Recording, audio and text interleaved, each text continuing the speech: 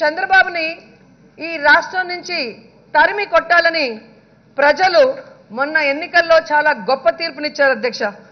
ఈ దేశంలో ఏ ప్రాంతీయ పార్టీ ఉండటానికి ఈ దేశంలో ఏ ప్రాంతీయ పార్టీ సాధించినంత ఘన విజయాన్ని మా ముఖ్యమంత్రి జగన్మోహన్ రెడ్డి గారికి ఇచ్చారు అధ్యక్ష. యాభై శాతం ఓట్లు ఎనభై ఆరు శాతం సీట్లు నూట యాభై ఒక్క ఎమ్మెల్యేలని ఇరవై రెండు ఎంపీలని. ఇదేమన్నా మామూలు విజయం అధ్యక్ష? తెలుగు గడ్డ మీద పురుడు పోసుకున్న వాళ్ళెవ్వరికీ సాధ్యం కాని గొప్ప విజయాన్ని సాధించిన ఏకైక మొనగాడు జగన్మోహన్ రెడ్డి గారిని నేను గంటా పదంగా నేను చెప్పగలను అధ్యక్ష. ప్రజలకు ఇచ్చిన ప్రతి హామీని కూడా అందుకే అమలు చేస్తూ ఆరు నెలల్లోనే దేశం గర్వించే ముఖ్యమంత్రిగా ఈ రోజు ఆయన పరిపాలిస్తున్నాడు అధ్యక్ష. నిన్ననే ఇండియా టుడే సర్వేలో మీరు కూడా చూసుంటారు అధ్యక్ష. ఈ దేశంలో ఉన్న ముఖ్యమంత్రిలో నాలుగవ బెస్ట్ ముఖ్యమంత్రిగా జగన్మోహన్ రెడ్డి గారిని ప్రజలు ప్రశంసిస్తున్నారు అధ్యక్ష.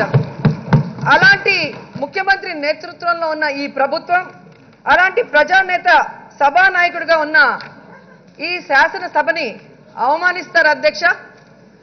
అధ్యక్ష మొన్న శాసన మండలిలో జరిగిన విషయాల్ని ఒకసారి చూద్దాం అధ్యక్ష. నిబంధనల ప్రకారం వాళ్ళు ముందుగా సెలెక్ట్ సెలెక్ట్ కమిటీకి నోటీసులు ఇచ్చి సవరణలు ఇచ్చి వాటిపై ఓటింగ్ పెట్టి సెలెక్ట్ కమిటీకి పంపుతున్నామని చెప్తే మాకెవ్వరికి కూడా ఎలాంటి అభ్యంతరం ఉండేది కాదు అధ్యక్ష- ఎందుకంటే అధ్యక్ష శాసన మండలికి కూడా కొన్ని అవకాశాలు ఉంటాయి కాబట్టి చట్ట ప్ర- ప్రకారం వాళ్ళు వ్యవహరించారు కాబట్టి మేము గౌరవించే వాళ్ళం అధ్యక్ష. కానీ అక్కడ జరిగింది ఏంటి అధ్యక్ష?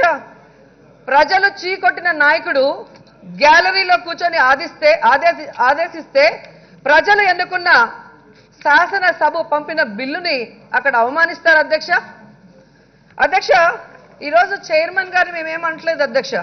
చంద్రబాబు చేసిన కుట్ర దారుణమైనదని చెప్తున్నాం అధ్యక్ష.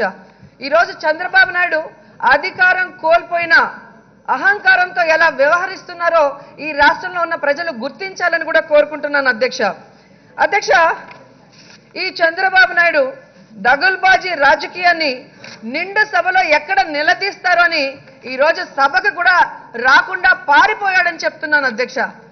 ఎందుకంటే అధ్యక్ష ఆయన పార్టీ ఆఫీసులో కూర్చొని శాసన శాసన మండలిని రద్దు చేయడం కుదరదు. రెండేళ్ళు పడుతుంది. మళ్ళీ నేను తీసుకొస్తాను అంటూ పిచ్చి పిచ్చి స్టేట్మెంట్లు చేస్తున్నారు అధ్యక్ష. చంద్రబాబు గారికి నేను సూటిగా అడుగుతున్నాను సార్ అధ్యక్ష. శాసన మండలి రద్దు కాదని మీరు భావించినప్పుడు ఎందుకు పారిపోయారు? ఈరోజు అక్కడ ఎక్కడో ప్రెస్ మీట్లు పెట్టి మాట్లాడే మాటల్ని మీకు దమ్ము ధైర్యం ఉంటే ఇక్కడికి వచ్చి ఇక్కడ కూర్చొని మాట్లాడి ఉండొచ్చు కదా. ఎందుకు పారిపోయారని నేను ప్రశ్నిస్తున్నాను అధ్యక్ష.